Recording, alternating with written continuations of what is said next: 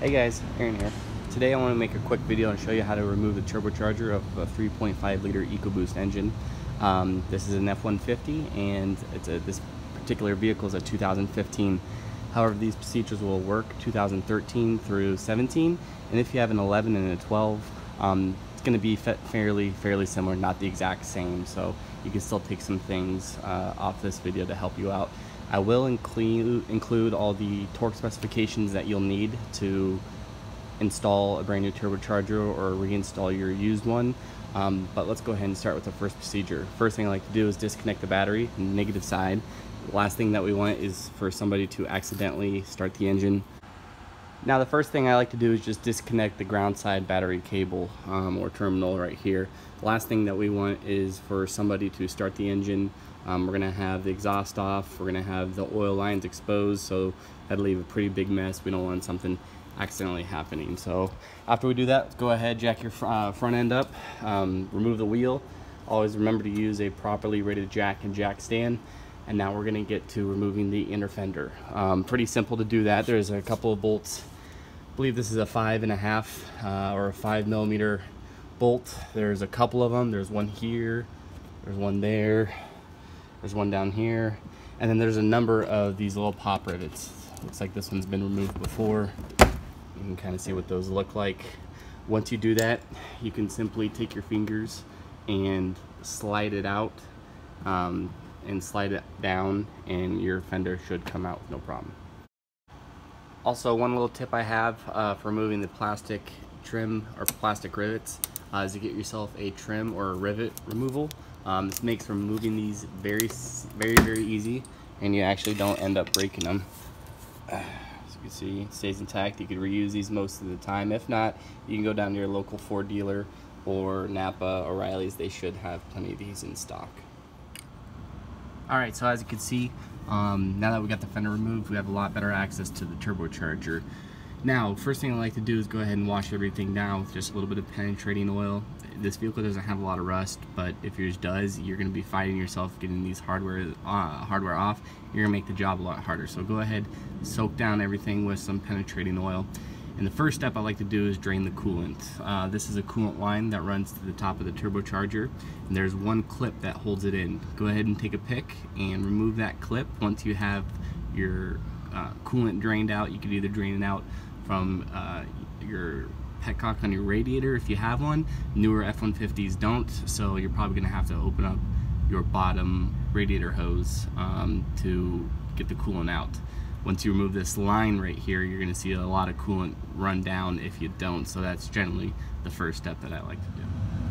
Now the second part that we got to remove is uh, the manifold uh, for the water coolant and oil line, the oil drain line, which is right here. There's two bolts that hold it in uh, right below the turbocharger and unfortunately on the passenger side the starter is in the way so we're gonna have to go underneath and remove our starter to do that. Go ahead get your 13 millimeter or half inch socket, break loose and remove the top bolt. And then the bottom bolt, um, the transmission cooling lines attached to it via a bracket, get a 10 millimeter, remove that bolt and a 13 millimeter to remove, actually it's a nut, 10 millimeter nut and then a 13 millimeter bolt. And the socket, the um, starter should drop down free, giving us more access to the back bolt to uh, remove these lines. So with the starter removed, um, we are underneath the vehicle here and we have better access to these two bolts. One's right here and one's right right here. Once we have that um, we can go ahead and take this fitting and kind of pull it away a little bit. Not too much. It does bend a little bit but you don't want to be too crazy with it. Um, so we're going to remove those two bolts and then we're going to work on the you can see right there there's the oil feed line for the turbocharger alright so we got the two bolts out of the bottom fitting right here. Next thing you're want to work on is this feed line. There is a clip one single clip that holds this line and this line is kind of stationary. So once you have it removed and we go up top or through the wheel well to remove our turbocharger you're to remove it directly this way and you're want to pull out of uh, have the turbocharger pull out of this line right here um, because this line is kind of bolted down to the motor down back here so Um, just keep note, we're not going to be removing this right now when we go to pull off our turbocharger. We'll go ahead and slide it out of that line. So the next step is going to be to remove the two 15 millimeter nuts that hold on the downpipe. Um, they're not on pretty tight. I've always had good luck getting these bad boys off, so you shouldn't be fighting them too hard. Uh, I always find it's best to remove them when you're underneath the vehicle versus through the wheel well. Alright, so I've got the nuts removed. Go ahead and take this little collar and slide it down. That's going to make removing the turbocharger a lot easier because it won't be in the way. Alright, so next step is going to be to remove the vacuum hose off of the wastegate. It's not on there real hard, uh, so just go ahead and pull it up and tuck it out of the way. Next thing I like to do, instead of removing our whole entire charge air cooler right here, what I like to do is take off both hose clamps that hold it on, hold on this coupler, and you could just loosen the one on the turbocharger, and you're gonna have to kind of wiggle the pipe, get this out of the way, wiggle the pipe and take off this coupler. That way when we remove the turbocharger, uh, the, the charge air cooler, uh, hose air cooler will stay right here, but this coupler will be out of our way. Okay, so we go ahead, we have our uh, coupler off. Next step is going to be to remove our inlet air, which is this tube right here. Connects us to this little mounting bracket right here, but first, go ahead, take your 7 millimeter and tighten this up real good. You can spray some WD-40 on it, uh, help you out, and then let's go top side and remove the top of the pipe. So this pipe comes up top here and connects to our air box with this hose clamp. I'm going to go ahead and remove that.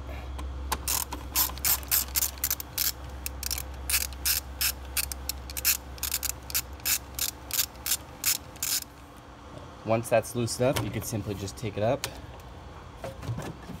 pull up on it.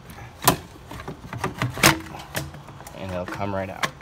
You can just hang it right there. Alright, so with our air cleaner pipe out of the way, kind of got it tucked up here. You can see the turbocharger can come off a lot more easier. Last thing to do is to take off these three bolts that hold on the turbocharger using a T47 Torx bit uh, with an impact. As you can see, they come off relatively easy. Never really had these bolts give me any problems. And last one.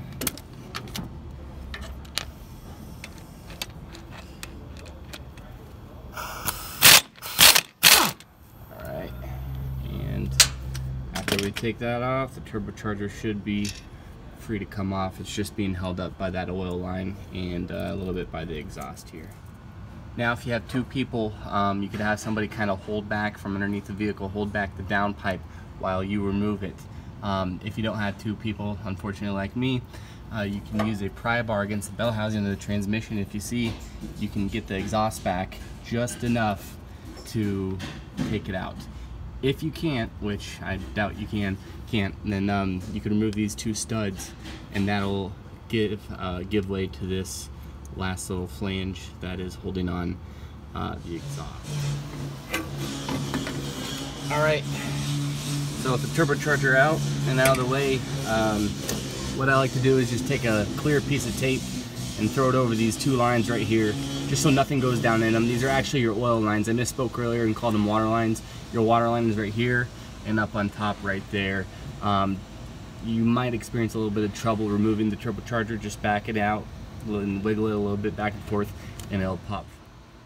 Alright, so I got the turbocharger in the vise and what we're going to do now is we're going to place the gasket that's in between the, the actual turbocharger uh, turbine housing and the little adapter right here. It's a multi-metal, multi-layered gasket. Um, not always necessary to replace it, but since the turbocharger's off the vehicle and out, let's go ahead and do it anyways. The vehicle has 100,000 miles on it. So um, what I like to do is double nut the studs. We're going to have to remove both studs in order to get to that gasket. Uh, double nut the studs. These studs are in there really tight, so you might have to take a torch to this section, which as you can see I did. It's smoking a little bit. Um, and then you can crack it free and remove it.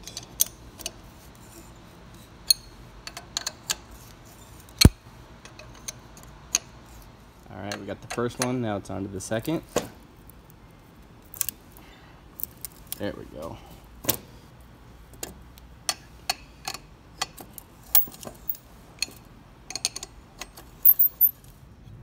All right, so we got our new gasket on. We got the studs tightened down. That's good to go. Next thing, before we throw this thing back on the truck, we're gonna resurface the two uh, quick disconnect uh, fittings. There's one right here, and then we're gonna turn the turbocharger 90 degrees, and there's one on the other side there. They house an O-ring for the metal pipes uh, that uh, um, coolant goes through, and so uh, we're just gonna go ahead and replace them with new ones from Ford.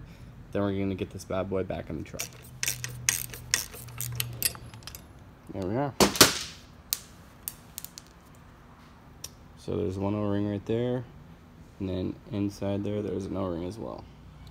All right, so I got both quick disconnect fittings back on. Um, one little quick tip I have to help install the uh, new lines, take a little bit of wheel bearing grease and go ahead and throw it in that fitting. That's just gonna help the line, the line uh, slide in there and not be so hard. When you're installing this, this back line right here is a little bit difficult to get into, so that grease is gonna kind of help it slide in One thing that also might help you out is getting underneath the truck and you can actually take your hand and move this rear line right here into the turbocharger. And once that's done, um, you don't want to bolt it up quite yet because you got to get this other gasket in here, um, the gasket for the oil, uh, the oil lines. What you, could, what you can do is kind of manipulate the turbocharger, push it up, and pull down on these lines at the same time and kind of sandwich that gasket in there. After that's done, go ahead, feel free to put your two bolts in and torque those down. All right, once you got your oil and coolant lines back on, go ahead and throw on your starter uh, via the two bolts and put the collar of your exhaust back onto the turbocharger. Don't tighten these down yet. We're gonna go topside and bolt the turbocharger onto the manifold. That's more of a priority. We don't want the exhaust influencing how the turbocharger sits and possibly not torquing to the manifold properly. Alright, so we went ahead and mounted up our turbocharger uh, via the three bolts. The torque spec on those bolts is 28 foot-pounds. Went ahead and swung over the coolant line, make sure it completely um, snaps into our new fitting. If you're reusing these fittings, install those clips before you put the line in. It's going to make um, putting the line and getting the seal correct a whole lot easier if these clips are already in. Um, next thing, pretty much reverse procedure. Go ahead, throw on our hose to our wastegate, and then I'm gonna hook up the hoses and torque down the hose clamps um, for the suction and pressure side of the turbocharger. All right, so now that we got the turbocharger back on, um, it's a good idea to go ahead and put coolant back in the vehicle to proper level and change the oil. Definitely check for leaks uh, when you start it up. I like to keep the fender off, that way I can see and monitor these lines, uh, our oil lines which are down here, and of course check for exhaust leaks as well. All right guys, seems like uh, everything's good. Just got done with the test drive. No more leaks, um, no coolant leaks, no oil leaks or anything like that. So looks like the repair is done. I hope this video has helped you out. If it has, please like and subscribe. If you have any questions or comments, feel free to leave something in the comment section.